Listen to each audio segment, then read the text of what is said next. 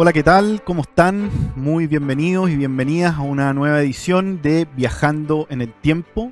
Eh, como pueden ver, hoy no está el dúo dinámico, ¿cierto? La Dama de Hierro y la Mujer Maravilla. Están disfrutando de un entretenidísimo viaje por Irlanda.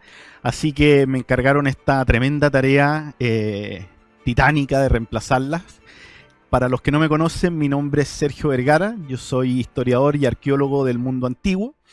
Em, y esa va a ser un poco, ¿cierto?, mi, misión en estos días, eh, reemplazar a estas dos tremendas fuerzas de la naturaleza y además llevarlos en un viaje en el tiempo hacia el pasado, un pasado remoto. Y es por eso que hoy tenemos un invitado sumamente especial, un hombre que es doctor en historia del arte, nada menos que don Cristian León, muy bienvenido.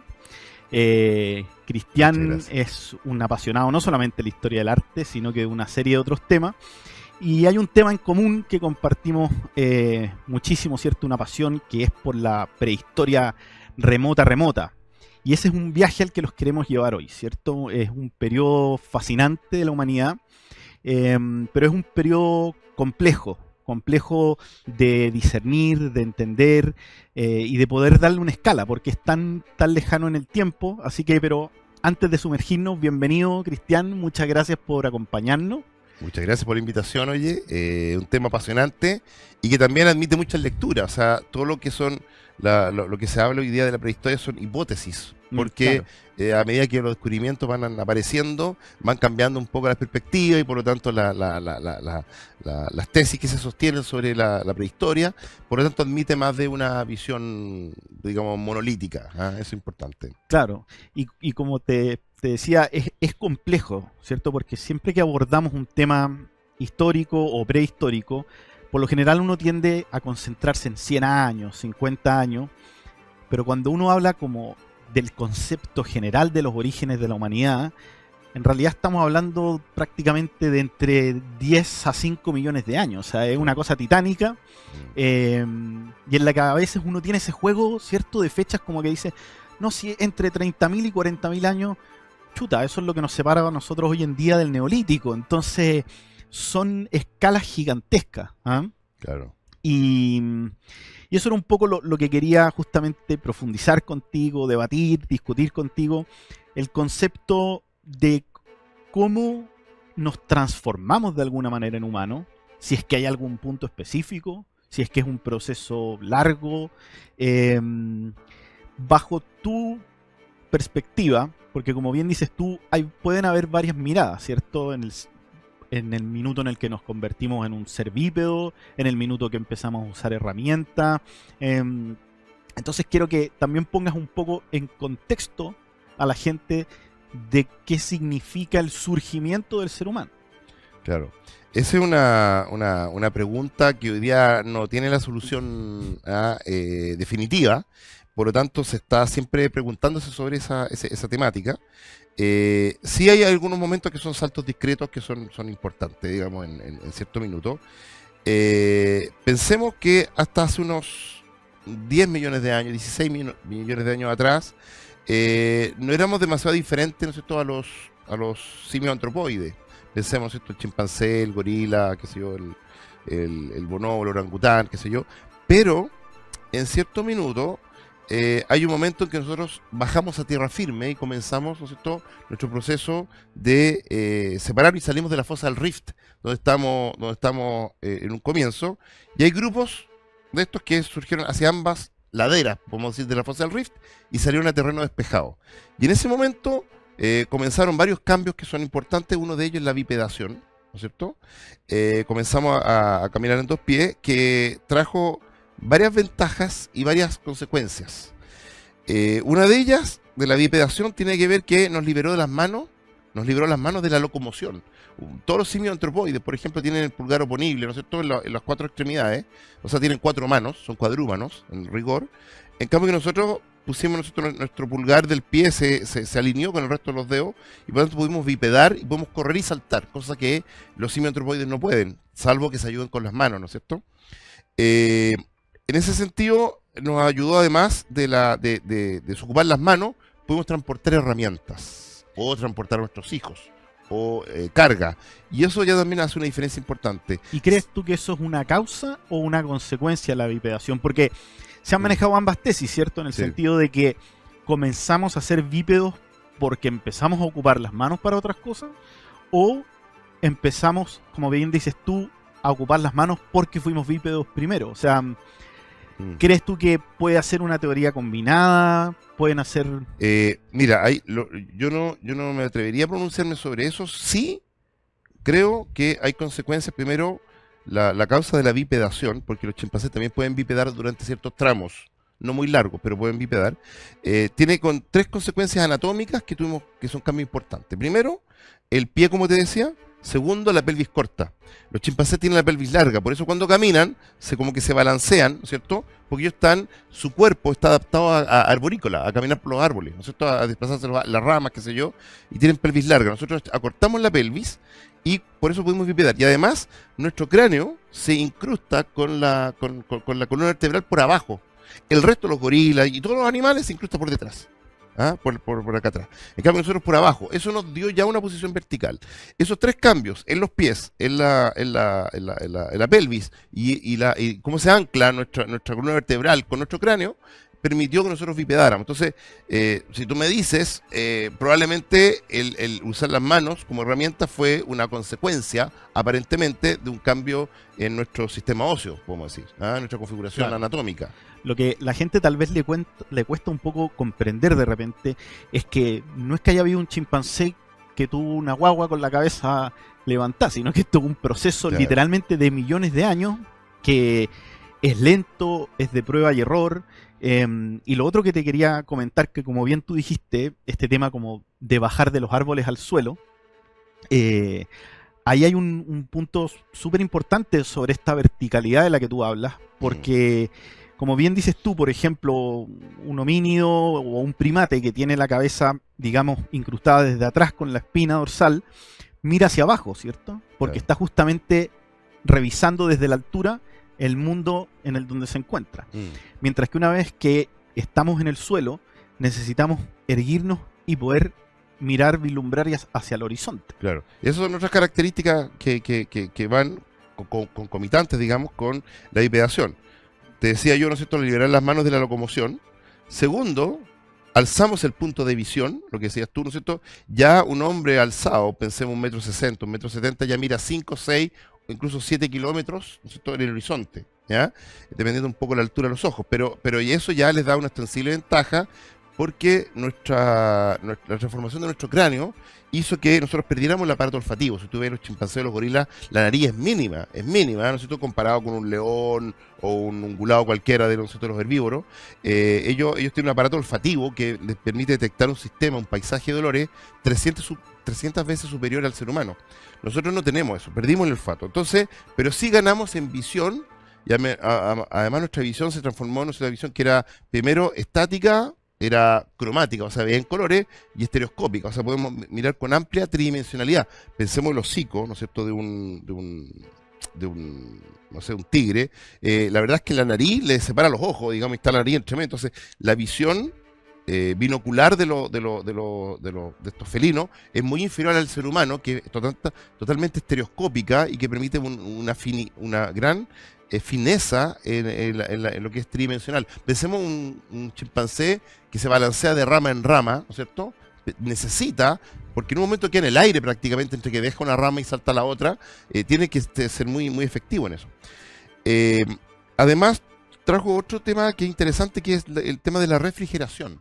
Nosotros cuando estamos acostados en la playa, ¿no es cierto? Eh, con el sol que está ahí, la radiación solar en el suelo, es muy fuerte. Y cuando nos paramos porque tenemos calor, nos vamos a bañar, nos paramos y cuando nos paramos como que el viento corre, nos refrigeramos, cuando ya llegamos a la orilla del mar, como que ya no tenemos tanto calor, ¿no es cierto? Como que se, se enfrió el cuerpo.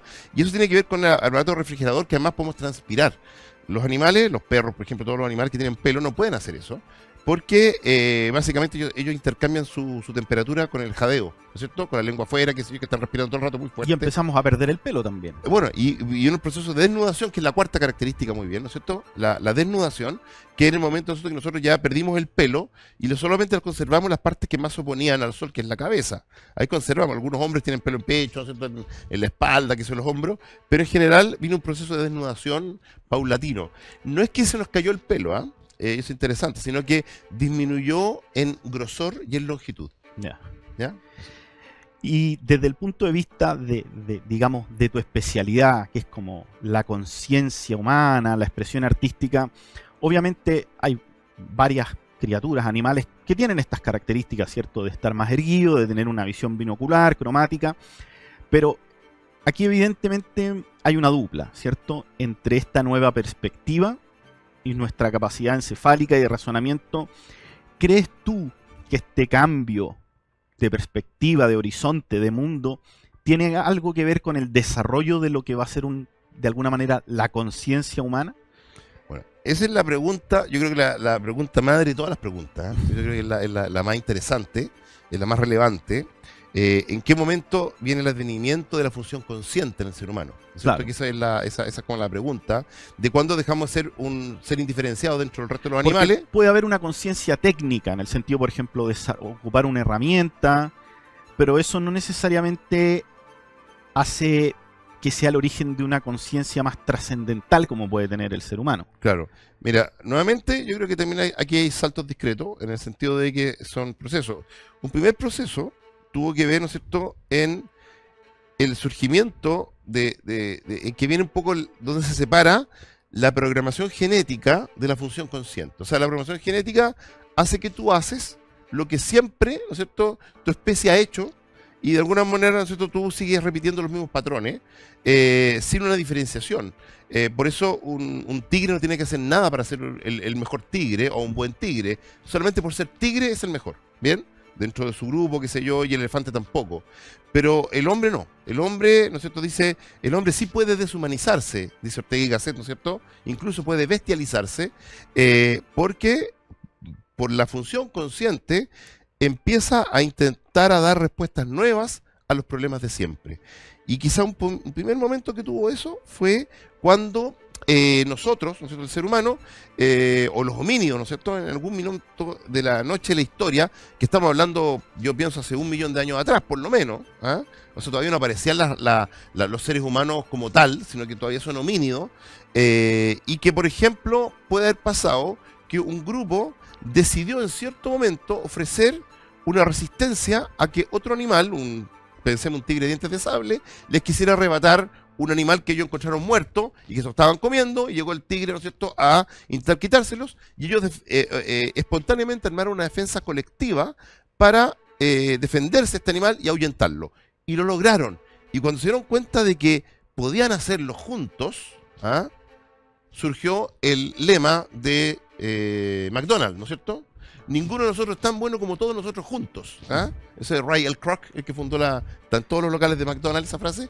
Eh, ninguno de nosotros es tan bueno como todos nosotros juntos. Esa frase no la acuñó L. Kroc, sino que probablemente, ¿no es cierto?, un Australopithecus o un Homo erectus, ¿no es cierto?, Homo- perdón, Homo habilis, ¿no es cierto?, hace prácticamente 1.850.000 años atrás.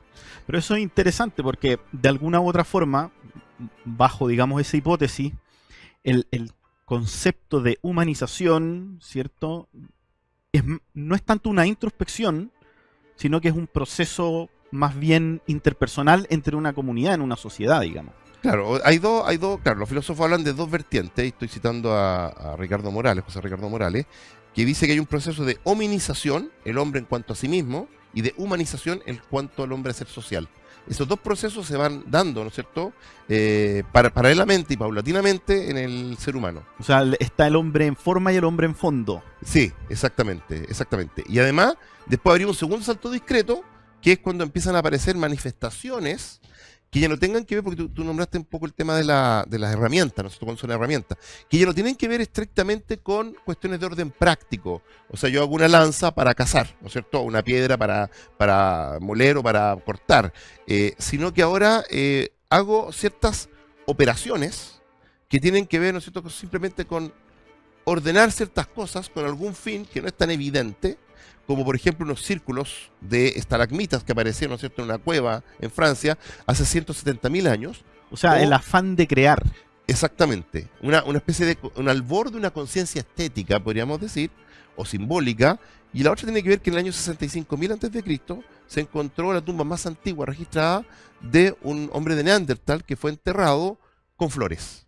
Con 11 tipos de diferentes de polen se le encontraron en su cuerpo en posición fetal, en Irak, y que eh, esta, tumba, ¿no es cierto?, eh, al ser enterrado con flores, nos habla de que el hombre tiene la capacidad de simbolizar y de que, ojo, y de que hay, posiblemente ellos creían ya en una creencia post-mortem.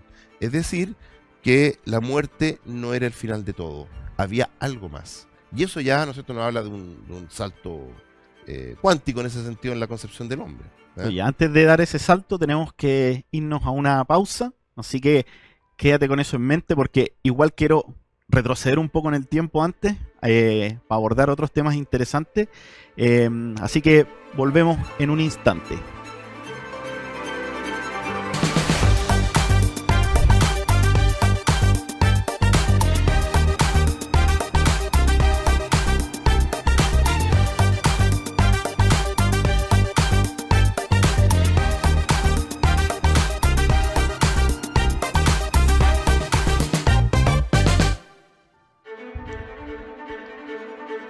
Estamos de vuelta aquí conversando un interesantísimo tema justo a Cristian León, justamente sobre el hombre prehistórico, no porque Cristian sea un hombre prehistórico, es un hombre moderno, ¿cierto? Del siglo XXI, un hombre del Renacimiento, se podría decir, este concepto que tenían en la época victoriana, justamente, a ¿ah? un hombre letrado.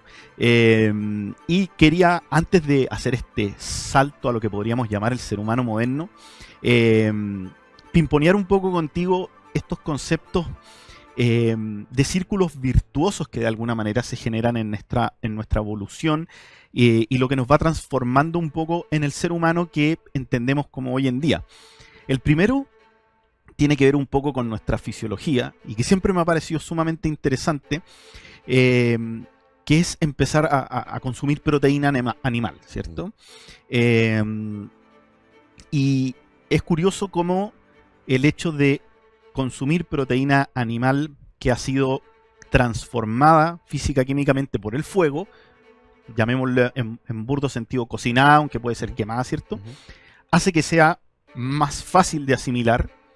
Eso va a generar un crecimiento encefálico nuestro mm. y al mismo tiempo ese crecimiento encefálico va a reducir nuestra capacidad mandibular y nos va a dejar de alguna u otra manera con la necesidad de consumir alimentos procesados por el fuego al tener la mandíbula más chica. Entonces, eso es lo que yo llamo un poco como estos círculos virtuosos que se, em, digamos, se retroalimentan de alguna manera. Y te, quería preguntar por algo que siempre me, me, ha parecido fascinante y al respecto de esto, que es la domesticación del fuego, porque yo creo que es un hito importantísimo, ¿o no? Es casi que como la llegada del hombre a la luna, la invención de la escritura, la domesticación del fuego es un punto, bajo tu perspectiva, esencial. Absolutamente, absolutamente. Eh, es comparable con la llegada del hombre a la luna, con la revolución industrial y con la revolución eh, agrícola. ¿ah? Es de esa, de esa magnitud. ¿ah? La revolución del fuego, de hecho, marca historiográficamente el periodo con que surge el paleolítico medio. Antes del fuego era el paleolítico inferior, que más o menos está de los 4 millones de años atrás, cuando el hombre, o el homínido, digamos, abandona la fase del Rift, hasta el 500.000, donde el hombre comienza a controlar el fuego, no hacerlo voluntad, nosotros sí a controlarlo. Claro. Esos 500.000, y hay dos especies que tienen asignado un poco este, eh, este, este, este, descubrimiento. Por un lado está eh, el Homo erectus, que sería una especie muy exitosa, de hecho que había nacido hace mucho tiempo, como el 800 eh, mil antes de Cristo, y que se mantuvo eh, vigente hasta más o menos el 100 mil antes de Cristo.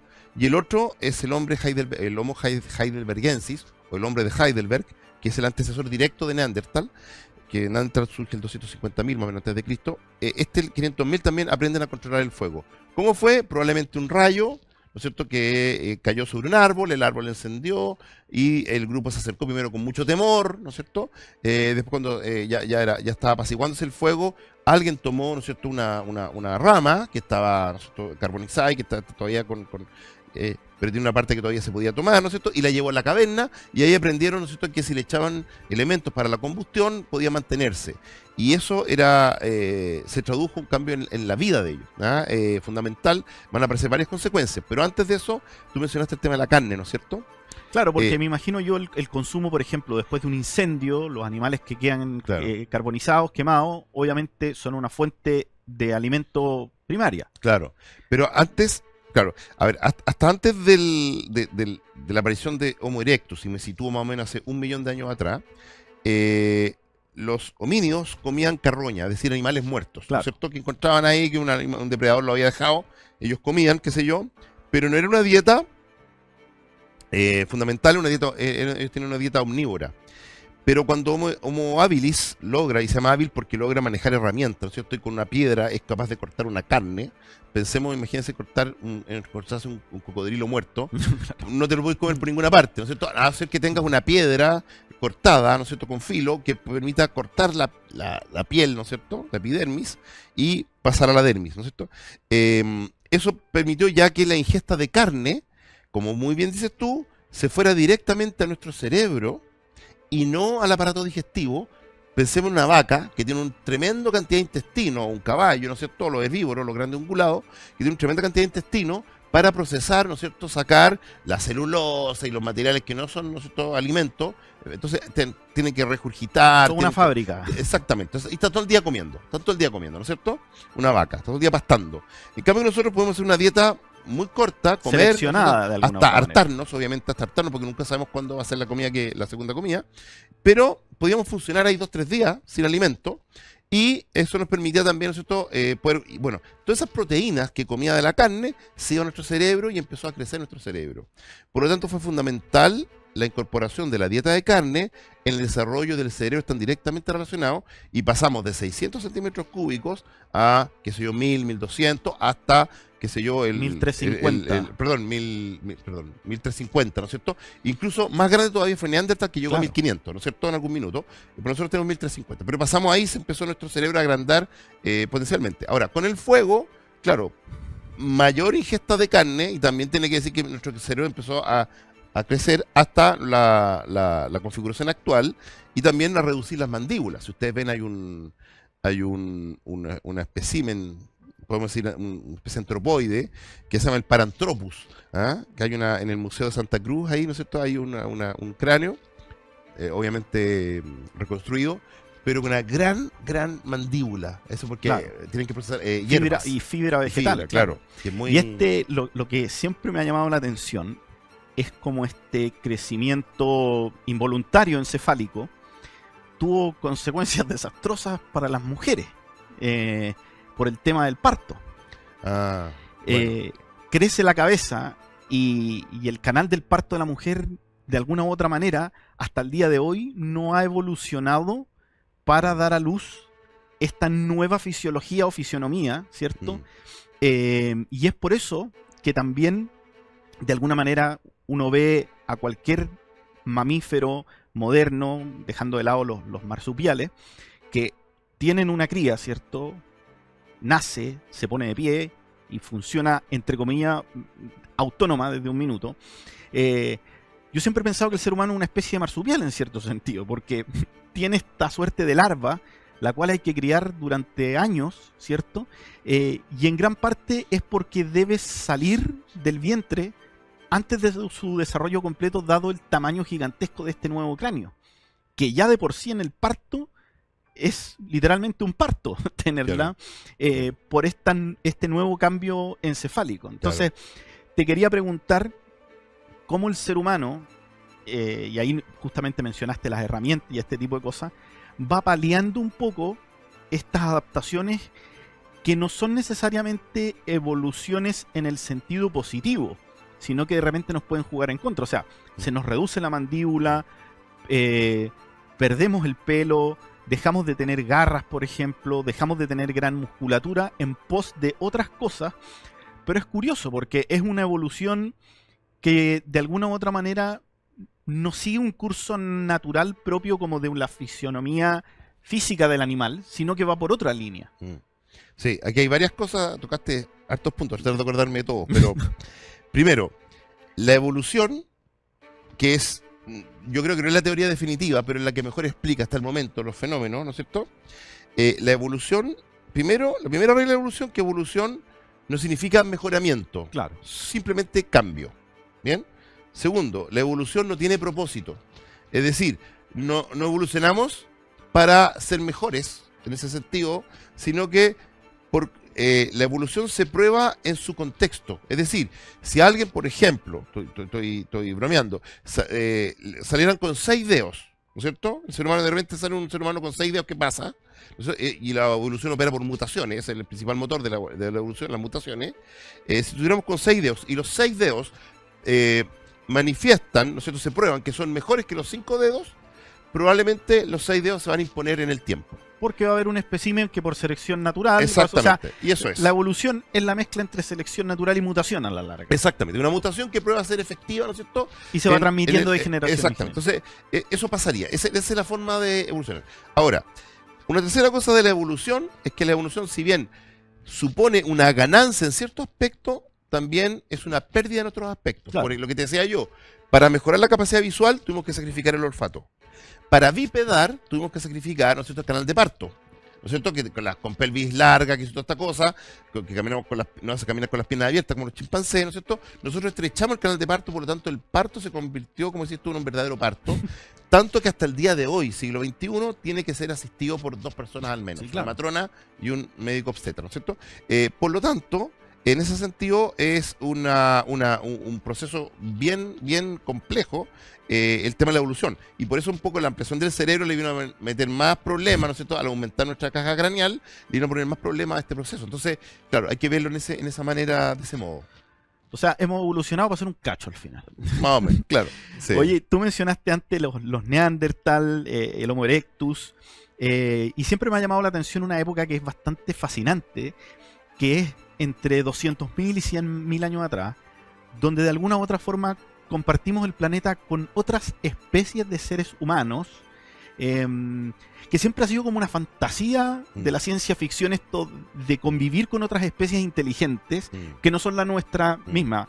Tenemos un mismo origen, Mm. ¿cierto? Del, de- de- Mm. digamos, del género Homus o Homo Mm. con Mm. esta gente, pero no eran humanos, habían algunos que tenían, de hecho, otro código genético que no podíamos cruzarnos con ellos. mm, Em, y hubo un minuto, alrededor de 150.000 años atrás, que hubieron por lo menos 6 o 7 especies repartidas por el mundo conviviendo, hasta que finalmente quedaron dos o tres que fueron las más, digamos, exitosas mm, y que han perdurado más. mm. eh, y las más famosas, por supuesto, somos nosotros, ¿cierto? Homo sapiens.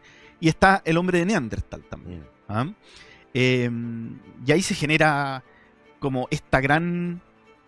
O sea, yo creo que es un temazo ese, ¿cierto? Temazo, de, sí. de los dos mm. grandes humanos, por qué uno se fue, por qué el otro quedó, nos conocimos, no nos conocimos, en qué términos nos conocimos, Eh, existía un lenguaje, no un lenguaje común, sino que una capacidad de comunicarse. Eh, y yo sé que este es un tema que a ti también te, te- apasiona mucho. Eh, entonces, quería que le explicaras un poco a la gente cómo nos separamos, cómo nos volvimos a encontrar con Neandertal, quiénes son, de dónde vienen, em, porque de alguna u otra forma, en cantidad de años como especie, han sido más exitosos que nosotros, en el sentido de que han dur- duraron más Mm. de lo que nosotros llevamos en este minuto. Exactamente. Claro. Eh, mira, a ver, hay una, hay un dilema todavía en, en- en ese sentido, en las clasificaciones, porque cada nuevo de especie eh, supone varias preguntas. Porque de repente, como se encuentran, a ver, son unas pocas decenas de cráneos de especies anteriores a nosotros. Eh, estoy, estoy sacando también al Neandertal, que también es más, abundante, pero de, la- de las anteriores a Neandertal, son pocas decenas de cráneos que tenemos y no tenemos cráneos completos, O sino sea, que fragmentos. nunca fuimos grandes manadas como los Ñu, por ejemplo. No, no, si puede haber sido. No, no, grandes manadas no. no lo, lo- lo que se estima que eran grupos de 40 personas máximo.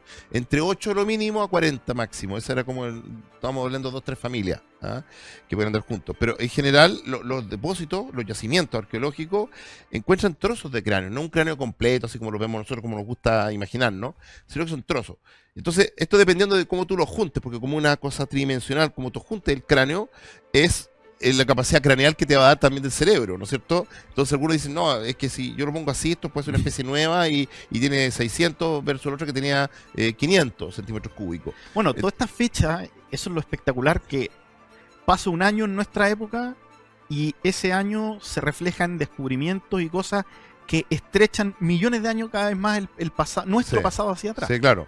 Y hay, hay, hay, hay, hay, grandes dilemas en la ciencia. Por ejemplo, hay un, hay un homínido que aparece como hace unos dos millones y medio de años atrás, que se llama el Ardipithecus ramidus, que era muy curioso porque bipedaba, tenía pelvis corta, pero era cuadrúmano. O sea, tenía, tenía pulgares, ¿no es cierto? Así, los pies, y mano, eh, pero, pero, pero pelvis corta y andaba erecto, eh, que, que, como raro, porque claro, uno sé que el pie, el pie a la, manera de nosotros, a la manera nuestra, con pelvis corta, uno dice ya bipeda, pero esta otra cosa es como media extraña. Bueno, existen todas estas cosas entre medio, pero hay una separación en cierto minuto que se llama el homo antecesor, que más o menos está por el 800, mil, más o menos, o, o un millón de años, ¿eh? que de alguna manera surgieron dos ramas importantes. Por un lado está el hombre de Rhodesia, el Homo rhodesiensis, y por otro lado el Homo heidelbergensis. En ese minuto ya podemos decir que se había hecho la separación y habían cruzado, esa rama había cruzado hacia Europa y hacia Asia Menor, ¿no es cierto? Incluso se expandió de ahí, ¿no es cierto?, hacia, llegaron hacia, porque todo esto surge en África, ¿no es cierto?, los más antiguos, los yacimientos, dice que el hombre nace en África, pero de ahí surgieron hacia Asia, qué sé yo, y hacia, y hacia Europa. América todavía estaba inhabitada en ese minuto, y eh, el hombre de Rhodesia dio origen al hombre de Cromañón, que se configura alrededor del 100.000 a.C. Y el hombre de Heidelbergensis dio origen al Homo de Neandertal, que se configura como el 250.000 a.C. Y, no, y, ya no en el centro de África. Sino no, no, que este en Europa. Empieza a evolucionar. En Europa, y en Asia, exactamente. Europa, Asia, hasta Irak, que es por ahí está. Medio Oriente. Eh, probablemente detenido con los montes Sagros, los montes Taurus, por ahí, digamos, detenido en ese, en ese punto. Eh, sí habían pasado otros grupos anteriores, ¿no es cierto?, hacia el Homo erectus, habían pasado, ¿no es cierto?, hacia que ahí se dio el, hombre de, de, Pekín, que le llaman, ¿no es cierto?, el sinántropo, y otros grupos que se dieron por allá. Eso, eso siempre me ha parecido notable, que por ejemplo en, Inglaterra hay registros homínidos muy antiguos que se pierden y después vuelve otra especie de ser humano y también se pierde y bueno, es, increíble esas, esas olas de migración. Sí. Son increíbles. Hay unos que pasaron al que se llama el hombre de Florescensis, el Homo Florescensis, que pasó a una isla que le llaman la isla de Flores, en, Asia, y que ese grupo empezó a disminuir la, cantidad de comida, porque el grupo, como pasó en Isla de Pascua, según se dice, eh, empezaron a, disminuir los recursos naturales y finalmente dio que el hombre para sobrevivir se hizo pequeño, sobrevivieron los que eran más pequeños que necesitaban menos comida, y fue un hombre, una especie enano, ah, de un metro veinte. ese es un fenómeno común en las islas. Claro. Tú sabías que, por ejemplo, en, la época cierto del Mesozoico, especies de dinosaurio, Europa era un gran archipiélago en esa ah. Perfecto. Y ciertas especies que quedaron aisladas en esta isla se hicieron versiones enanas. Pasó lo mismo con los elefantes después. En el Cenozoico, en islas como Sicilia habían elefantes enanos que habían venido originalmente de África y que cuando se desconectaron, a falta de competencia, disminución de alimentos, falta de grandes depredadores, se achicaron. Perfecto, claro. Esa es, como una, una, consecuencia casi natural un poco de este... Es como que los chilotes empezaron a, claro. Por eso no es, no es, el más grande y el más fuerte el que triunfa, sino que a lo mejor en este caso es el más pequeño porque las condiciones contextuales cambian y benefician, entonces por eso se produce esta evolución. ¿ah? Es como es el, eh, y muy bien, muy buen ejemplo para, explicar ese fenómeno. Entonces, Oye, pero está este Neandertal. Sí. ¿Cierto? Lo tenemos en Medio Oriente, en Asia y en Europa. En Medio Oriente, sí, sí. Y triunfa exitosamente. Exitosamente. Es un cazador, ¿cierto? Eh, hábil, es un hombre que va a mezclar inteligencia con fuerza bruta. Eh, y hasta hace poco teníamos esta conciencia de que esto era poco menos que, el Sasquatch, ¿cierto? Un hombre que, que, tiraba piedras, que gritaba. Eh, pero hemos empezado a descubrir que tenía de alguna u otra manera vestimenta, que tenía familia, que entendía los conceptos estéticos de transformar su entorno. ¿Cómo ha sido todo este cambio eh, de ver más que a un antecesor a un paralelo nuestro en el hombre de Neandertal. Sí, hoy día ha ido cambiando la, la apreciación de Neandertal de- debido a los avances un poco, sobre todo el Instituto del Hombre de Leipzig, la Universidad de Leipzig, ha hecho un descubrimiento notable en muchas direcciones y, muy amplia, que, que es importante verle, y recomiendo un documental de Deutsche Welle sobre eso. Eh, pero voy a contar varias cosas que son importantes de Neandertal. Primero, el hombre de Neandertal es una de las especies más exitosas, ¿no es cierto?, que, que ha habido. eh, su, su transcurrir por 150.000 años, esto ya nos habla un poco de, de- de- de ese éxito. Nuestra especie alcanza los 100.000 años, Cromañón. Nosotros todavía no llegamos a la cota de ello. Eh, y no vamos a llegar probablemente. no, perdón, dije 200, 200, 230.000 años. O son del 350.000 aproximadamente lo que se podría llamar como los primeros especímenes de Neandertal, Mm. hasta ya se calcula que los últimos son desde el, entre el 50 y el 40.000. Eso es lo que se, dice, pero hay una excepción que se descubrió en las cuevas de Gorham en Gibraltar, porque habitualmente como la última fecha registrada es con el 42.000 antes de Cristo, eh, o el 40 o el 40.000 eh, eh, antes de Cristo, 42.000 a la fecha de hoy, pero se descubrió que en la cueva de Gorham en Gibraltar eh, hay vestigios de Neandertal hasta el año 28.000 Mira, lo cual es fantástico. O sea, nos dijo que la especie le, ha ido muy bien, digamos, como decía, cerca de 250.000 años, o un poco más quizás, ¿no es cierto?, de, permanencia. Eh, pero quizás el, el problema más grande eh, que se vio enfrentado fue cuando llegaron los cromañones. Neandertal tenía, para pensar, 1500 centímetros cúbicos de cerebro. Segundo, tenía, era el hombre más fuerte que ha habido en la prehistoria, no más fuerte, mucho más fuerte que Cromañón, ¿no es cierto? Y segundo, se logró adaptar muy bien en las condiciones, ¿no es cierto?, que había de glaciación que había en Europa en ese momento, y se hizo un especialista en caza. Fíjense que los, los Neandertal se ha descubierto hoy día por los vestigios arqueológicos de los yacimientos que se juntaban, si bien andaban en grupos de unos 40 personas más o menos eh, por grupo, se juntaban una o dos veces al año con otras comunidades, había como una gran reunión de tribus, de clanes, de Pascua y hordas. Año Nuevo. de Claro, pa- para la fiesta de Año Nuevo, ¿no es cierto? Y para, para, para, para, para, la 18. Pascua y para la Navidad, digamos, claro, se juntaban. Eh, uno tenía que ver, ¿no es cierto?, con eh, cuando llegaban las, las grandes manadas que venían, ¿no es cierto?, que, que estaban haciendo siempre su, sus Las rutinas migraciones, de, de claro. migraciones, ¿no es cierto?, que, que no es que deambulan, sino que son rutinas Cíclicas, claro. cíclicas, ¿no es cierto? Entonces, cuando llegaban los animales, los grandes ungulados, digamos, o herbívoros, eh, se juntaban estas tribus para cazar colectivamente y, y también otro momento que era para intercambiar eh, Miembros. miembros, básicamente mujeres, ¿no es cierto? Que eh, una mujer, ¿no es cierto? Yo te paso a mi hermana y tú me pasas a tu hermana, digamos, para, porque ellos se dieron cuenta, porque el nombre de Neandertal tiene cuatro características, más o menos, que uno podría decir que ya es hombre totalmente y no este ser como Sasquatch, como decías tú, ¿no es cierto? Sino que un ser eh, absolutamente, ¿no es cierto? Un hombre con todas las condiciones humanas que lo hacen propiamente hombre, como por ejemplo, primero, eh, que ocultan sus órganos sexuales a la vista de la comunidad, ¿no es cierto? Hay un sentido del pudor, también de la protección de zonas más sensibles. Segundo, que hay una prohibición del incesto. O sea, el, el hecho de meterse con familiares, ellos veían que producía un problema genético, razón por la cual hoy día las leyes nos dicen que no podemos cas- casarnos con, con hermanos o con primos hermanos, ¿no es cierto? Eh, tercero, Antes de Sí. ir al tercer punto, vamos a una pequeña pausa y ya volvemos con este interesante desarrollo de lo que es el hombre de Neandertal.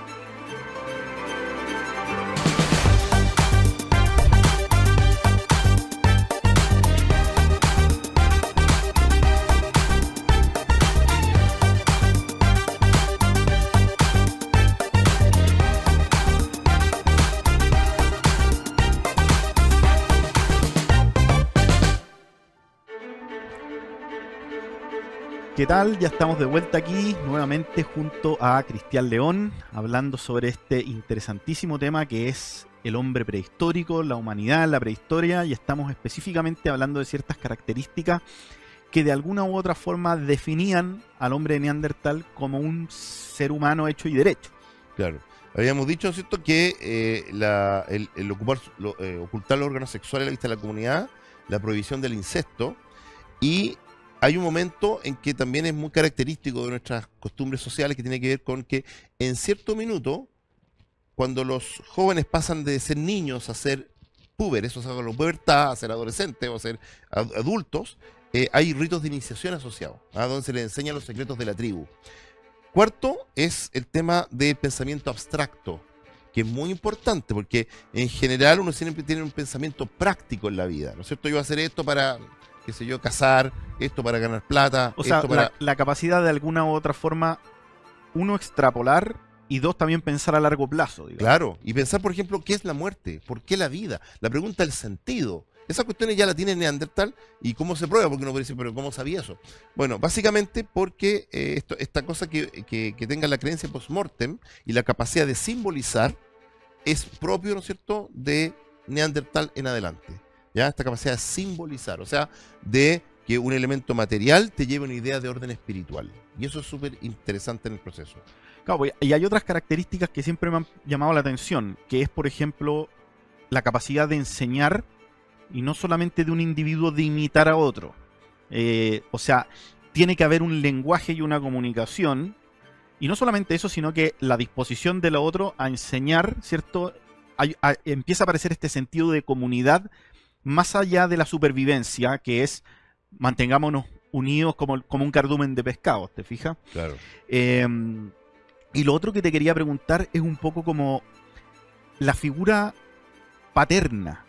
Porque eso es algo que no se ve mucho en el mundo animal y menos en el mundo mamífero, ¿cierto? Por lo general es la madre la que juega un rol de familia. Eh, el macho tiene un papel de guardián del clan. Pero el ser humano empieza a aparecer un concepto que no se ve mucho en los mamíferos, que es el padre, que empieza a cumplir de alguna u otra forma un rol maternal, y valga la redundancia, paternal acá. Entonces, ¿cuándo crees tú que también nace el concepto de entender cuando una especie es hija de uno, ¿cierto? Porque hay muchos animales que no tienen esa capacidad de decir, este es mi hijo, la madre lo entiende, pero el padre no. ¿Tú crees que eso es más bien un, un digamos, una construcción social? Porque evidentemente no es que se den cuenta genéticamente que es su hijo o no. Claro. El, bueno, el desarrollo también del cerebro habla mucho de eso, ¿no es cierto? Desde el sistema límbico, ¿no es cierto? Hasta la corteza frontal, que digamos, hay un desarrollo, ¿no es cierto? En, el, en esa capacidad del, de nuestro cerebro, en el cual, ¿no es cierto? El, el, el, rol, en este caso del padre, va a ser un rol fundamental. Eh, primero, hay que entender un poco que la mujer en la época, en la época prehistórica es el centro de toda la actividad eh, de este mundo, por lo tanto se puede afirmar con bastante certeza, y esto con la experiencia de la investigación que ha hecho Marija Gimbuta sobre todo, eh, o Riane Eisler, qué sé yo, de que eh, la mujer es el más importante elemento de una comunidad porque no hay una asociación directa en este momento entre el coito y la fecundidad. Es decir, no por tener un, hijo, o sea, no porque, porque un hombre se meta con una mujer, digamos, tenga una relación sexual, nueve meses después salga un hijo de eso, sino que se cree que hay una cosa más, más bien, una creencia que se llama partogénesis, ¿ya? O partogénesis, perdón, partenogénesis, que básicamente significa eh, que es una causa de la mujer, ¿ah? porque es una obra y gracia de la mujer que puedan tener. Entonces, o sea, el, va a ser ella el, el, recipiente que va a contener a esta nueva generación que va a perdurar este clan. A la y que va a perpetuar el canto de la tribu. Sí, eso es lo importante. O sea, ellos sobreviven gracias a este poder de la mujer. Por lo tanto, todo está organizado en una, en una horda en torno a permitir que la mujer, ¿no es cierto?, pueda criar eso. Esa criatura que nace de, de ella, ¿no es cierto?, dentro de ella, y que eh, va a permitir que ella la amamante. Y la amamantación, ¿no es cierto?, en esta época, según los estudios que se hacen, eh, dura hasta los cuatro años. Claro. Entonces, por lo tanto, una permanencia eh, de la mujer con la cría, ¿no es cierto? Y el hombre tiene una función, ¿no es cierto?, que va a ser proveer, ¿no es cierto?, a esas mujeres para eh, el alimento y la protección necesaria para que la vida de su curso y se, vea, se pueda perpetuar el canto de la tribu.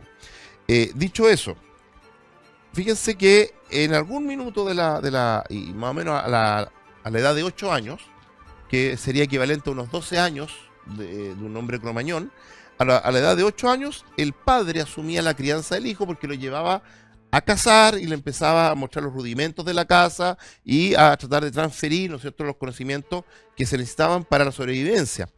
Eh, en ese sentido, esto generó un, complejo eh, de la formación de una institución que es más antigua que cuando la Iglesia Católica instituyó el matrimonio, sino que en esa época ya el hombre de Neandertal, fíjate que el hecho de que la cría necesitase muchos años, estoy poniendo, ¿no 8, 12 años de vida, en compañía de sus padres hasta ser autónomo, eh, implicaba, ¿no es cierto?, que la acción colaborativa del padre y la madre, ¿no es cierto?, eh, permitiesen, a su vez, ¿no es cierto?, que dar las condiciones de seguridad que necesita este hijo, Pensemos al el caso de los mamíferos, una gacela de Grant o de Thompson, a la, a la ya puede correr o caminar cuando a nace.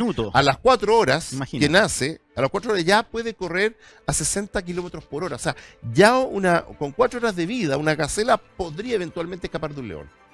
¿No es cierto? O sea, cuatro horas. El ser humano, ¿no cierto? Hoy día con 15 años nadie escapa de un león nada más, digamos, pero, pero, podemos decir ¿no que eh, las condiciones, por lo tanto, necesitaba la crianza de padre y madre en forma permanente. Ahora uno puede decir, pero ¿lo creaba el clan, el matrimonio o el clan, la, el grupo entero?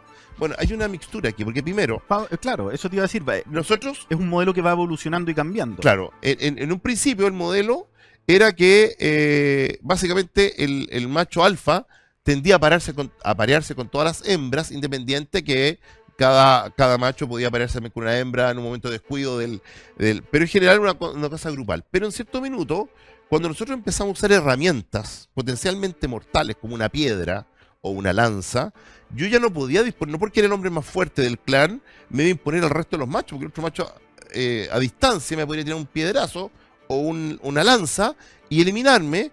Por lo tanto, eso repercutía en la incapacidad o, menor capacidad de defensa y capacidad de caza del grupo.